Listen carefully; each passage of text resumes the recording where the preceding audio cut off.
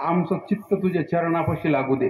चरणापाशी भगवंताचे जर चित्त लागलं तर तुमच्या आमच्या जीवनामध्ये कळत न कळत जे संकट आलेले तर ते संकट भगवंत कसा पार करतोय? वाढवलेल्या धन कसं म्हटलेलं आहे? पाठी मागे उभे राहे सांभाळीत. आलिया अनंत प्रकारचे संकट तुमच्या आमच्या जीवनामध्ये जर येतात ते येतात तर ते कधी येतात आणि कधी संकटाचं निवारण होऊन जातं ते आपल्याला कळत पण नाही तर म्हणून आपण काय करायचंय? आपला वेळ सत्कर्मामध्ये लावायचा आहे आणि भगवंताचं नामस्मरण करून आपलं उर्वरित आयुष्य खर्च करायचं आहे. तर आता दोन हजार चोवीस हे एक वर्ष म्हणजे तुमच्या आमच्या मनामधील एक आनंद आणि उल्हास देणारा असं एक वर्ष आहे. कारण की पाचशे वर्षापासूनचा तो वाद आपले पूर्वज आई वडील आपले आजोबा परिसरातले जे जुने लोक कारसेवक ते सांगताय ते की अयोध्यामध्ये राम मंदिर कधी होणार आहे? अयोध्यामध्ये राम मंदिर कधी झालेलं आहे? तर सर्वांच्या कृपा आशीर्वादाने या ठिकाणी आता अयोध्येमध्ये प्रभू रामचंद्र भगवंताचं सुंदरसं मंदिर पण झालेलं आहे. मूर्ती प्राण प्रतिष्ठा पण झालेली आहे. आणि का म्हणावं लागतं त्यांच्याबद्दल? कारण की आत्मा जो शिवाचा रामजप आजचा जो पर्व काळ आहे हा पर्व काळ म्हणजे भगवंतानी अनंत अवतार घेतलेले. आपण गीतेमधून बघितलेलं आहे की परित्राणाय साधूनाम विनाशायच दुष्कृताम आणि धर्माची स्थापना कधी होत असती? ज्यावेळेस सज्जनांना त्रास व्हायला लागला पापाची वृद्धी व्हायला लागली परित्राणाय साधुना मग त्यांचा जे आसूर माजलेले त्या आसुरांचा नायनाट करण्यासाठी भगवंत देवी अवतार घेतो आणि सज्जनांचा संरक्षण करतो. आणि मग सज्जनांची संख्या वाढली पापक्रम कमी झाले की मग रामराज्य निर्माण होतं. परित्राणाय साधो विनाशायचे दुष्कृताम. आणि धर्माची स्थापना होती. मग आतापर्यंत धर्म धर्म म्हणजे काय? तुमचा आमचा वेगवेगळे धर्म आहे समाजामध्ये. मुस्लिम ब्राह्मण ख्रिश्चन हिंदू जैन पारशी या धर्माबद्दल आपण बोलत नाही परंतु आपला धर्म काय आहे? विष्णुमय जग. वैष्णवांचा आणि आमचा धर्म काय सांगतो आम्हाला? भेदा भेद भ्रम अमंगळ. कोणाचाही द्वेष करायचा नाही. कोणालाही वाईट मानायचं नाही. असा आमचा भे- धर्म सांगतो. आणि जगद्गुरु तुकाराम महाराज म्हणतात हे तुका म्हणे एका देहाच्या वयव हो. सुख दुःख जीव भोग पावे. अहो माणसं माणसं तर आपलेच आहे परंतु हे सरपटणारे जलचर भूचल हे विविध जे पक्षी पक्षी आहेत हे पण आपलेच. आहे अशी ज्यांची साधना आहे अशी ज्यांचे विचार आहे असा तो साधक जीवनामध्ये यशस्वी होतो. विठ्ठल! कारण शिवाचा राम जप. मत्स्यम कुर्म वराहंश नरसिंह मनस्तत. रामो रामश्य कृष्णश्य बौद्ध कल्कितशा स्मृत हे मुख्यत्वे दहा अवतार अनंत अवतार घेतले भक्ता कारणे आपल्या कोणते अवतार घेतले सगळं माहिती आहे वेळ आपला संपत आलेला आहे. परंतु पूर्ण अवतार राम अवतार. मग राम अवताराचा जर आज या भरतखंडामध्ये असं लक्षदीप भव्य दिव्य राम मंदिर होत असेल तर आपण प्रभू रामचंद्र भगवंताचं नावच इतकं सुंदर आहे. की राम म्हटल्यावर चेहरा खुलतो. एरवी नावं भरपूर आहे. बंटी चिंटी पिंकी रिंकी चांगल्या नावालाही आपण शॉर्टकट नाव लावलं आपल्या म्हणण्यानुसार. आपलं म्हणणं म्हणजे काय? त्याला परमाने कोण मार्गे गेला. मनाला पिंकी म्हणा वाटलं म्हणून पिंकी. अरे तिचं नाव अहिल्या आहे राजा. अहिल्या द्रौपदी सीता असं नाव ठेवलं. तर काय होतं? अहिल्या द्रौपदी सीता तारा मंदोदरी स्वतः पंचकन्या स्मरे नित्यम महापातक नाशनम यांचं मुखातून नाव घेतलं तर जे पाप कळत न कळत होतात ते निवारून जातात. मग चांगल्या पिंकीला चांगल्या आईला तुम्ही पिंकी म्हणतात. हा? कोणतंही नाव घ्या. राज घ्या राज. हा? कोणतंही घ्या. चेहरा तितका प्रसन्न होणार नाही. परंतु राम म्हटल्यावर मनाला पण आल्हाद आराम वाटतो आणि चेहरा पण प्रसन्न होतो. म्हणून प्रभू रामचंद्र भगवंताबद्दल स्वतः सो सोपं सोपं सोपं मंत्र आहे आपला. उघड मंत्र आहे. दुसरे मंत्र काही कानात सांगायचे असतात एकमेकांना सांगायचे नसतात. परंतु राम राम हा मंत्र सर्वांचा आत्मोद्धार करणार आहे. भरपूर बोलता येईल. आता वेळ संपत आलेला आहे. आणि मला जसं पचतं जसं थोडक्यात दोन चरणात तीन चरणात मी सांगण्याचा प्रयत्न केलेला आहे. आणि चौथ्या चरणातून असंच म्हटलेलं आहे शांतीब्रह्म एक महाराजांनी अनेक मागणे नाही नाही देवा. आम्ही दुसरं काही मागतच नाही. आणि ही काय? आमचा विश्वास तुझ्या दृढ होऊ दे. तर असो ज्यांच्यामुळं आपले मंदिरातील देव शाबूत राहिले. ज्यांचं नाव घेतल्यावर शरीरावर आपले रोमटे उभे राहतात. असे बालपणी ज्यांनी स्वराज्य स्थापन करी अशी शपथ घेतली अवघ्या सोळाव्या वर्षापासून त्यांनी जी शपथ घेतली ते कृतीमध्ये आणण्यासाठी कार्य केलं. असं छत्रपती राजांबद्दल दोन शब्द बोललं नाही तर कीर्तन पूर्ण झालं हो, हो, झाल्यासारखं वाटत नाही. म्हणून त्यांच्याबद्दल थोडीशी कविता मी म्हणण्याचा प्रयत्न करणार आहे. विठ्ठल!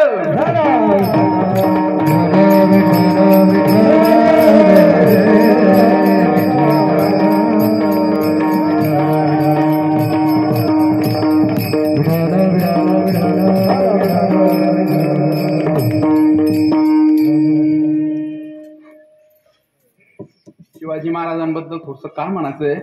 कारण की प्रत्येकांच्या जीवनामध्ये कोणीतरी आदर्श असतो. आणि तुम्हा आमच्या आता जिथे मला जे अपेक्षित आहे मला म्हणण्याकरता जे एक वक्त्याला अपेक्षित असतं की देशाची गावाची तालुक्याची जिल्ह्याची आणि हे लांब राहिलं परंतु घराची धुरा घराची धुरा पण आता उद्याच्या तरुणाईच्या हातामध्ये आहे. तर मग तरुणाईंनी कोणाचा आदर्श घ्यावा? आता आदर्श घ्यायला भरपूर स्टार भरपूर आयडियल झाले. मोबाईलमध्ये टीव्ही मध्ये जे आयडल झाले त्याला कुठं पैसे लागते तुम्ही रिचार्ज करतात तेच पैसे त्यांच्या खिशात जाते पण हे आमचं अज्ञान आम्हाला कळत नाही. परंतु जे सच्चे आपले आयडल आहेत त्यांचा आदर्श न घेता कारण की त्यांच्या संस्कार या गीता भागवत या कथेची झाली होती. जे महाकाव्य रामायण आणि महाभारत आहे अशा कथा मासाहेब जिजाऊनी छत्रपती राजांना बालपणी शिकवल्या होत्या. म्हणून त्यांना छत्रपती म्हटलं गेलं. आणि ते कसे झाले?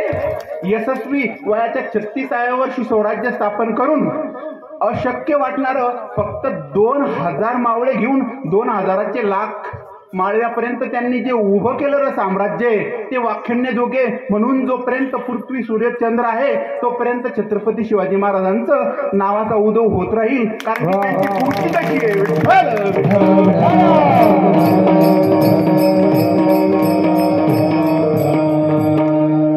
बालपणी बारा चौदा वर्षाच्या वयामध्ये असताना छत्रपती शिवाजी महाराजांचे वडील शहाजीराजे मुघलांच्या आदिलशहांच्या दरबारामध्ये सरसेनापती म्हणून नोकरी करायचे.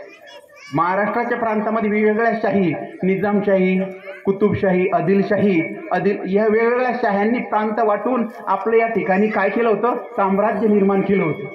आणि शहाजी महाराज छत्रपती शिवाजी महाराजांचे वडील त्यांच्याकडे सेनापती म्हणून नोकरी करत असताना ते जाऊन त्यांना नमस्कार करायचे. आणि एक दिवस छत्रपती शिवाजी महाराज आपल्या वडिलांसोबत गेले. आदिलशहांच्या दरबारामध्ये. आणि वापस आल्यानंतर दुसऱ्या रोजी मासाहेब जिजाऊ म्हणताय ते राजे तुम्ही काल आदिलशहांना मुजरा केला का? हा? तुम्ही त्यांना नमस्कार केला का? तर छत्रपती शिवाजी महाराजांनी जो प्रसंग आईला सांगितला तो प्रसंग म्हणजे कसा आहे? आई नाही नाही नाही नाही नाही. मी त्यांना का वंदन करू का नमस्कारून? त्यांनी काय केलं? होतात देवता नष्ट होतात देवता भ्रष्ट. हा घोर होतात देवळे नष्ट होतात देवता भ्रष्ट. हा घोर मांडला ज्यांनी त्यांच्या पुढे जाऊनी. प्रेमाच्या मंगल माते शिरमाते माझा आई माझं शिरच वळखत नाही आई. काय झालेलं आहे? तू सांग तुझ्या चरणाशी जोडून ठेवीन मान तू सांगतात चरणाशी कापून ठेवीन मान देव देश धर्मासाठी कडकावर ठेवीन मान परिपरचे सत्ताधारी गुरी शिरू गुरी शिरून निघाले वैरी. बघतात तयांना भारी सक्रोध वृत्तिमम होते. लववेना हे शिरमाते लववेना हे शिरमाते.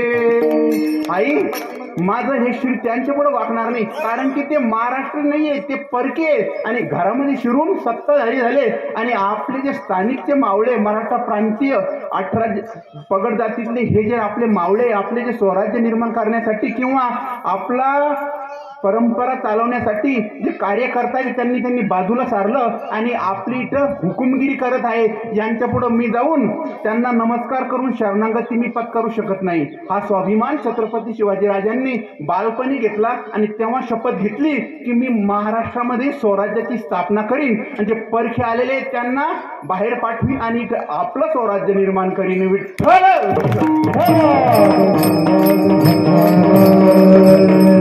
त्याच्यानंतर काय सांगताय मला वेदना कशाच आई एकटाच रात्री बसतो मी जन्मभूस आठवितो धडा धडा आई गे रडतो द्वैशाने आणि संचरतो झोपेत देश बंधूच्या दोकाने दचकून उठतो.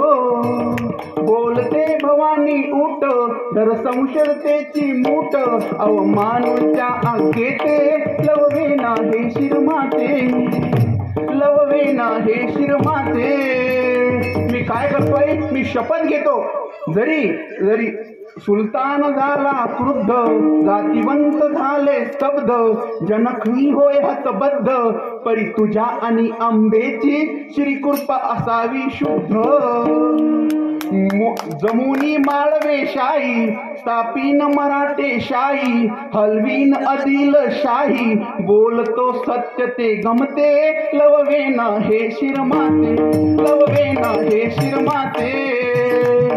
तरी माझा स्वाभिमान त्यांच्या पुढे शरण जात नाही. कारण की त्यांना मी इथून बाहेर पाठवेल आणि इथं आपल्या प्रांत्यांचे जन्माला आलेल्या महाराष्ट्रातल्या रयतेचं राज्य स्थापन करीन. अशी शपथ जर बाल्यावस्थेत आमचे राजे घेत असेल तर तुम्ही आम्ही पंचवीस आणि तीस तीस वर्षापर्यंत नऊ वाजेपर्यंत गोदडीत झोपतो म्हणजे आमचं किती दुर्दैव आहे.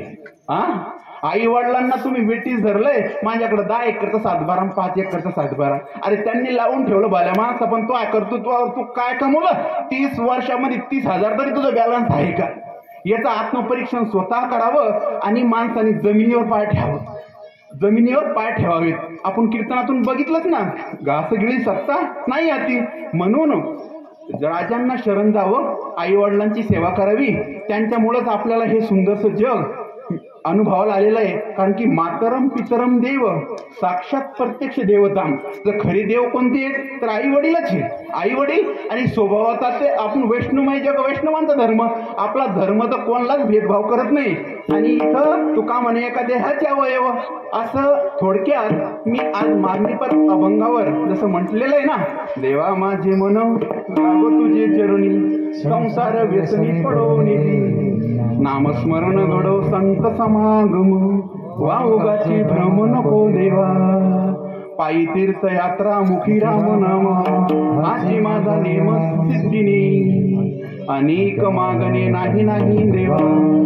एका जनार्दनी सेवा दृढली या प्रकारे शांती ब्रह्म एकनाथ महाराजांच्या अभंगावर तोडक्या मोडक्या शब्दामध्ये संकल्पित वेळेमध्ये मी सेवा करण्याचा प्रयत्न केलेला आहे. जे काही बोलताना प्रमाण म्हणत असताना प्रिनाऊन्सिएशन किंवा वाक्यरचना माझ्याकडून चुकी झाली असेल ते इथं टाकून द्या म्हणजे मी माझं घेऊन जातो. जे काही चांगलं असेल तुम्हाला वाटलं की या कीर्तनामधून थोडंसं शिकण्यासारखं असं या गोष्टी आहे त्याचा अवलंब करा आणि उर्वरित आयुष्य भगवंताच्या नामस्मरणामध्ये खर्च करून कारण की हे धन सोबत घेऊन जातं म्हणून या धनाचा अवलंब करा आणि जीवन शांती सुखमय करून घ्या एवढी सर्वांच्या चरणी प्रार्थना करतो आणि वाणीला पूर्ण विराम देतो.